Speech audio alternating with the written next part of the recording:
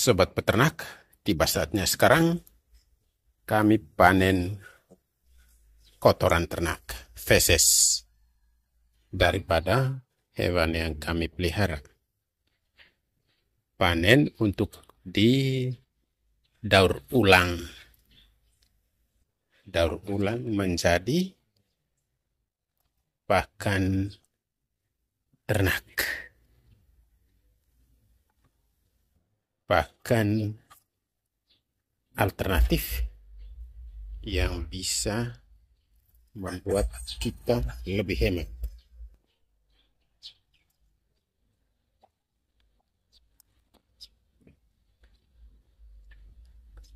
Ada beberapa tumpukan dari satu kandang ini. Ini lagi.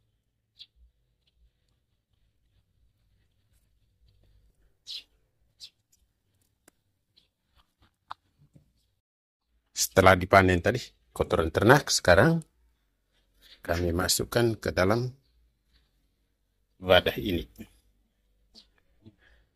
Dicampur dengan bahan lain.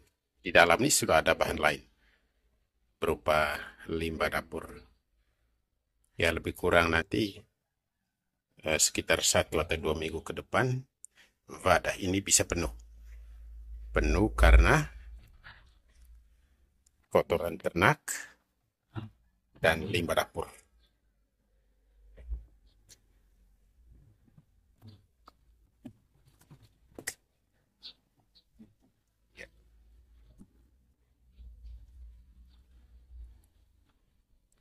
Ini baru proses awal kami kumpulkan bahan. Pada saatnya nanti kami akan proses lebih lanjut menjadi BBO, bubur bahan organik, organik alias bubur ternak. Satu-satunya yang bisa kami praktekkan supaya bisa hemat dalam hal penyediaan pakan kemudian juga mendapatkan pakan yang cukup bernutrisi. Proses selanjutnya, selanjutnya nanti ya kira-kira seperti ini. Ini sudah proses uh, tahap akhir daripada pembuatan BBO, bubur bahan organik. Terlihat airnya cukup banyak memang demikianlah uh, proses fermentasi luar biasa. BBO itu dibuat dengan cara fermentasi luar biasa.